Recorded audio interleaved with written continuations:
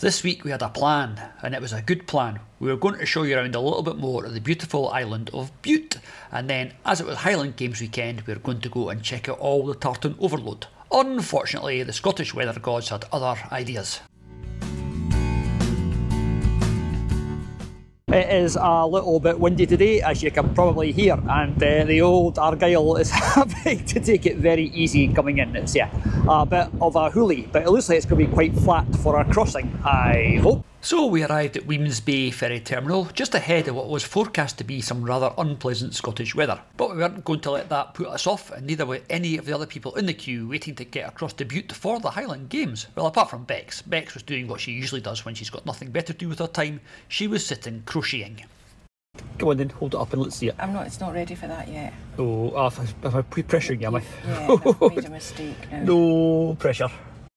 It's Bute Highland Games tomorrow, and there's a little doggy in the window of the uh, toilet delivery van, so possibly be visiting those again tomorrow. Is it ready for uh, public display yet? Not yet. Oh, come on, hurry up, look. It's got to be ready. The boat's here. What do you mean this might not work? It's It going to be perfect. It might not be ready yet. It No, needs to be in. I'm just hassling you and pressuring you. Ta-da! How cool is that? That is a crocheted wind spinner. She's a clever girlie with a crocheted wind spinner and her crochet jumper and her uh, massive bag of wool and, uh, and Eldritch. Have you met Eldritch yet? A lot of our videos these days seem to be us getting onto or off boats. That's because we have lots of adventures. That's because we have lots of adventures. It is uh, pitching up and down a little bit. I don't know if you can see that on the camera. It makes it all the more uh, exciting. This is uh, this is always my favourite bit. Right, we are on the Argyle and we are heading for Clang Crunch. And so begins the amazing game of Jenga that these crew do with vehicles, try to get as many squeezed on as they possibly can. It can't be very easy with a massive thing like that poo lorry showing up. Let's go for a cup of, uh, cup of coffee perhaps, Bex? Yep, cup of coffee. Coffee cabin. As soon as you get on a ferry, you feel as if you're on holiday. And because we're on our holidays, it's uh, a wee treat, but uh, I'd like to point out alcohol free. not alcohol free because I don't have to drive. And I've been at work today. You've not. I've actually spent most of this morning packaging and sending off Etsy orders, so thanks to everybody who's ordered stuff. And uh, if you order anything today, you're not getting it until sometime next week. Judging by the speed that the captain whipped the bow round to point towards Rothesay, he was in a bit of a hurry. Maybe he was trying to race the rain to the island of Bute. Well, guess what? You can't race Scottish rain because this was about half an hour later. We'd done a few miles across to Bute, and yeah, the heavens opened. It was all just a little bit soggy. Still, didn't affect us because we were not planning on anything exciting tonight. What we're going to do is get off the boat. We're going to drive down to a place called Port Bannatyne, and that is where we're going to park for the night because we know there's a really nice little pub there. Port Bannatyne is about five kilometres round the coast from the main town of Rothesay, and it's a really, really nice wee place. The pub that we're talking about is called the Anchor Tavern, and it's owned and operated by the local community, and it's very, very popular. You always get a really strange mix of uh, tourists, locals, and the yachting set who've come in on their yacht to visit the really quite famous marina here, which is uh, always quite good. If you go and check out our Tartan Overload video, you'll be able to see exactly what the Bute Highland Games are made of. There's lots and lots of pipers, lots and lots of uh, activities and sports like tossing the caber and putting the shot and stuff, and also a 10k run that we take part in. And this is what it all looked like last year. The place was beautiful, the weather could really not have been better whilst the actual event was on. Unfortunately, this year it looked a bit more like this. We've never had a total washout when we've been out filming for you guys, but this was a first. I couldn't even take the camera out of the bag, it was just absolutely soaking. So after we'd done our run, which was extremely wet, we went and took cover in the Electric Bakery, which is a really nice wee cafe on Rothesay High Street, and waited for the rain to stop. And fortunately, eventually, the rain did stop, and by sheer coincidence, it stopped just in time to coincide with the departure of our old friend, the paddle steamer Waverley. Now, last year was the first time I'd ever seen this, and I didn't have time to get the drone up, and I was panicking, and I forgot to press record, and all sorts of stuff that is uh, very, very amateurish. This year, I knew she was there, I had the drone up, and I remembered to press record, so I got some of the shots that I should have got last year. So, with our 10k run done, and the rain finally stopped, it was time to go to a place called Bute Yard, where we could dance the night away. Well, one of us could dance the night away. And can you guess which one of us that was? Bex was in a wee element. Bute is such a friendly place, so it's just a group of random people that all got up and danced together. Which, to be honest, took the heat off me because I am uh, I am not known for my dancing abilities.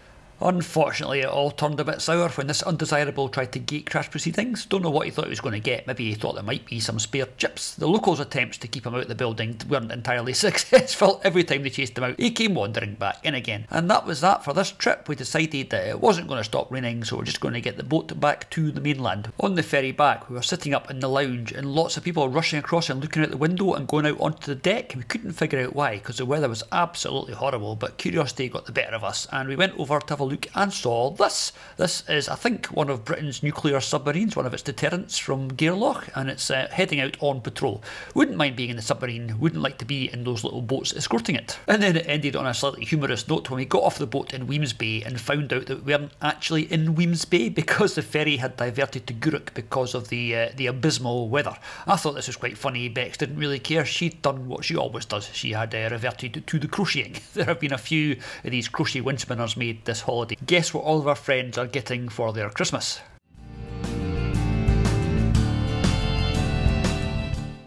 Well, that was a complete washout. Our attempts to do any filming on Bute were uh, completely kiboshed by the weather. So uh, instead, what we've got now is a little explore of some of the Scottish borders, and I think you'll quite like it. We are just south of Edinburgh. It's not exactly an ugly part of the world. That is the backside of the Pentland Hills, and we're heading down the E702. If anybody actually uh, is keeping score.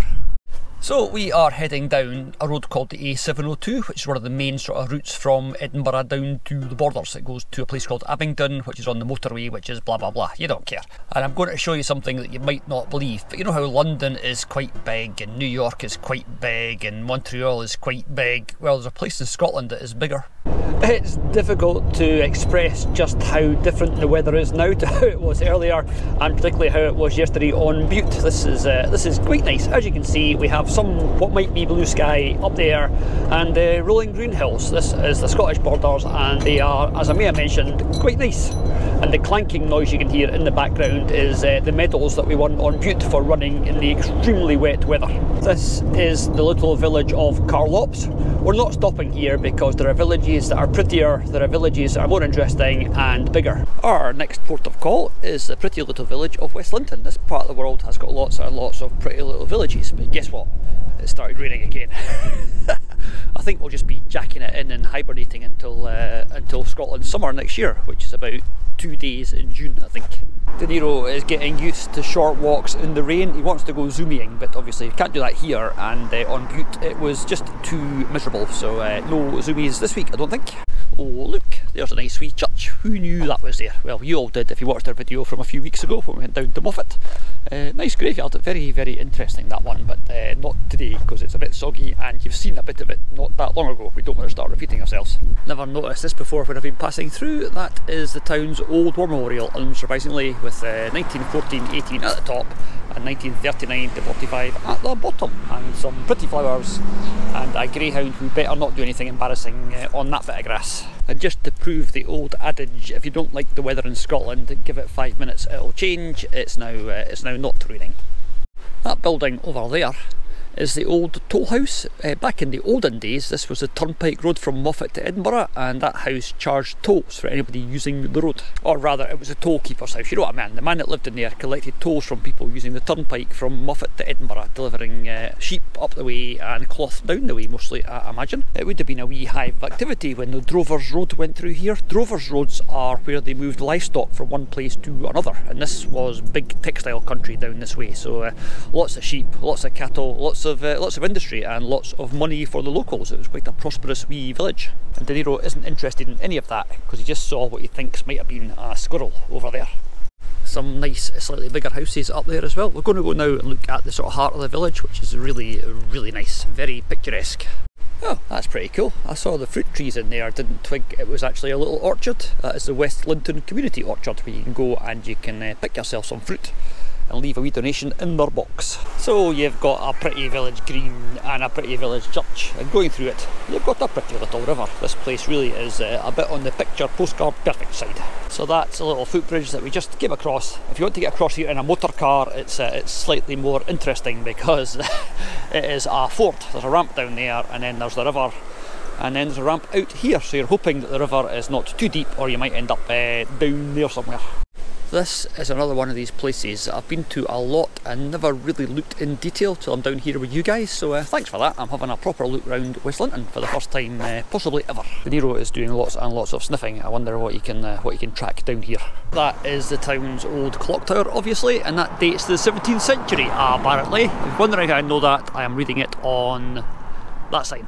I saw this thing on the wall, thought it might have been a grave slab carved in 1660 by James Gifford, stonemason, sculptor and portioner of West Linton, a portioner being somebody that farmed a portion of land and this wee square is opposite it. This place is just so pretty. It's a place lots and lots of people drive past on the A702 but not many people actually stop and it is well worth a wee look. That is another old church that is now apparently a house. It says church house there but I read that on the sign that is uh, that's another old church. You could have probably guessed that from the bell tower and stuff to be fair. And I think that was a great example of walking round in a circle because I think we're back at that wee bridge that we came across yeah, you might think I've got no sense of direction, and you'd, you'd, probably be right. But as it says on the back of Daisy, we're not lost, we're exploring. Lots of pretty little lanes and alleys and ginnels and all sorts. It's, uh, yeah, it's nice.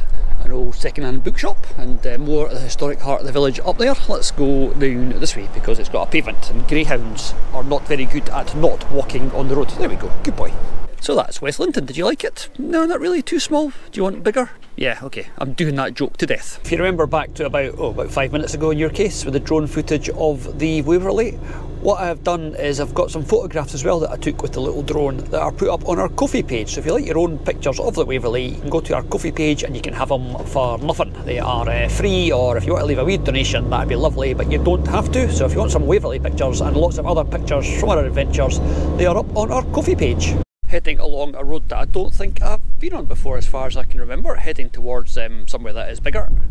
I saw a sign that made me stop, so let's go uh, let's go for a wee, a very quick look. Don't worry, it's not going to be long in a graveyard. Not yet anyway. The old graveyard is the one back there in the town. I'm guessing this is going to be 1940s, Second World War. Oh, let's find out. Let's go and ask uh, Sergeant W. W. Russell, wireless operator, air gunner. Yeah, 31st of March 1943, aged 22. Right, and it's uh, War Graves. I wonder if there's any more. Let's uh, let's go and see what we can see. Another nice, peaceful wee place, apart from me walking about talking to myself. And there's another war grave over there. So uh, let's have a little walk over to this one.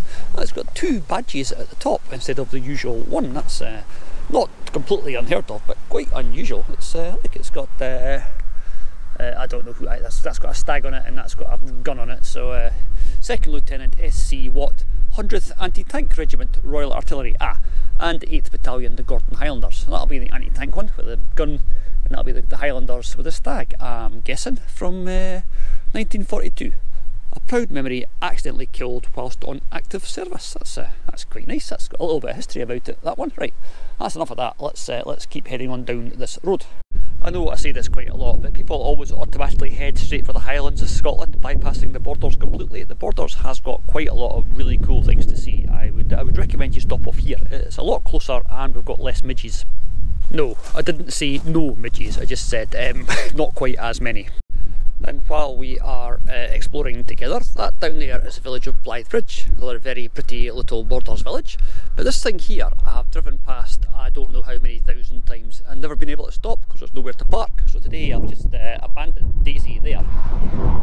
Let's go for a wee look. I'm guessing it's probably a war memorial. I've always assumed that, but uh, yeah, I never know. It is a war memorial, but it's like a private one. It's uh, it's nice and pointy, and it's got a cross up there on the top. And on the big stone it says, "Through distant ages, sire to son shall tell the tale of freedom won." That's uh, definitely worth finally stopping for. No Second World War stuff on that at all. So it's all uh, gentlemen of the First World War, glory of God, and blah blah blah. 1914, 19. But this uh, Alexander David Gibson Carmichael was a Royal Navy sub-lieutenant. Sub-lieutenant? yes, I know. It's a sub-lieutenant in a submarine. It's, I know it's not the same thing, but anyway, he was lost in a submarine in 1916, back very, very early days of the technology. I mean, that was a bit scary. There's a guy who died at Gallipoli with the Australians and the New Zealanders of the Anzac Corps. And there's, uh, oh wow, there's Archibald Buchan Miller, who was a lieutenant in the King's Own Scottish Borderers, attached to the RAF and killed over Schelleveld in Belgium in 1917. Again, very early days of the technology. I don't think I would much fancy being in a First World War aeroplane or a First World War submarine. They both sound a bit scary. It's quite interesting that, isn't it? That's uh, submarines and aeroplanes are technologies that were sort of brand new in the First World War and we're still using them to kill each other today. Let's go down here, but I can't promise you any actual dolphins. But as we are not living the sky life, that's probably as close as we're going to get. I bet that sub-lieutenant submarine is a little bit different technology to that thing that you saw earlier coming out of Bute. And we are now in Dolphinton, so if you want to see any dolphins, now is the best chance that you're going to get. I say best chance, it's also no chance, but uh, but hey ho. This road is also one of those annoying ones that you get lots and lots of lorries using rather than going on the motorway, so there's always the fear that somebody has got impatient and tries to overtake coming the other way. It's happened a couple of times, a couple of close calls over the years. But then again, I drive Daisy, so I can't exactly be impatient. She's not a racing car, and as my dad used to always say, better being five minutes later down here than 30 years early up there. And for anybody that's not noticed all the bigger references, we are in Biggar. As you can see there, it's a historic borough from 1451 and it's got uh, it's got all that stuff there. We'll go and have a look at some of that. And as we were stopping in Biggar, it'd be rude not to go and visit one of our favourite chip shops in the whole of Scotland. This is the Townhead Cafe. We've been coming here for years and years. It's really cool and we always have exactly the same thing. Who says that Scotland doesn't have world class cuisine and uh, very high rates of heart disease? We are Scotland on a shoestring and that is Scottish delicacies in a nutshell. smoked sausage supper and a can of Irn-Bru. You can't beat it. That was very tasty. It is a good chip shop, that one over there. Let's go and have a wee look around it Biggar. That's the wee museum that I've never been into that replaced one that used to be here that was so cool. Every school child in the local area knew about it because it had an old Victorian street and you got taken down there with your school in the bus from Edinburgh in my case and you got to go and visit this real old Victorian street and you wonder why I'm interested in history. Eh? Biggar is a traditional old market town where there used to be livestock markets and stuff. It occurs to me I've never seen a market cross here. We'll have to go and see what we can see. They didn't all survive obviously but there's usually some trace of them left. And there's also a charity shop but it's not a very big one so I'll go for a wee look and if there's anything worth showing you I will, uh, I will show you obviously. London's big but Biggar's bigger. Told you going to take you down and show you another museum, well the outside of it anyway, that's supposed to be quite interesting but uh, in all honesty I have never been. I'm not sure why they've got what appears to be the front end of a snowplough. Uh, let's go for a wee look. Oh, there's a sign. It is, oh, it is, it is actually the front end of a snowplough. Alright, and the guy who did this is born in 1907 and he did work in Canada on the DEW line, no idea. The DEW Line defence system, I'll have to find out. Although actually, uh, I'm sure one of you clever people can find out and let us know in the comments. Oh, that's pretty good. We like a puffin, as you probably noticed. It is a photogenic wee place and it only gets prettier the further down this hill you get. I don't know if that house is just sunk into the ground or if the door's always been at that height couldn't ask the person that built that house for money because he was always a bit short. All these gems and Bex isn't here to enjoy them or suffer them, one of the two. Obviously it's got a war memorial, but we're not here to see Biggar's war memorial, we're here if we look down here, which is uh, which is quite pretty, because in the middle of the town they've got this river that goes through it, and this really, really cute little humpback bridge, and then up that way there is the museum I was talking about. That's the wee footbridge. I'm guessing this used to be a ford, but I wouldn't try it now because it's got a big drop and uh, and bollards. Maybe they couldn't afford a bigger bridge. But, that's two in a row. I better stop there by getting ahead of myself. We will have to come and show you the inside of that building and I'll have to see it myself because like I said I've never been but that is Biggar Gasworks Museum that to be fair looks a bit closed. Let's go and have a look at the sign.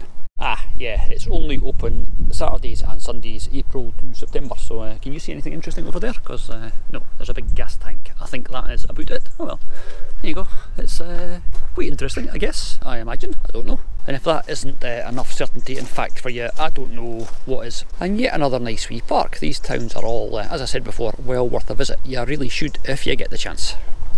If you're ever here in a camper van, there's quite a nice campsite as well. It's down the bottom of the hill. Although, to be fair, we don't usually use proper campsites. We use an app called park4night that's never let us down yet, even like in the middle of London or the middle of Manchester or anywhere. It always finds you somewhere you can park up, and we've never been hassled yet. There's a shop that definitely knows its target market. New summer clothes and chocolate. There's the summer clothes. Where is the chocolate?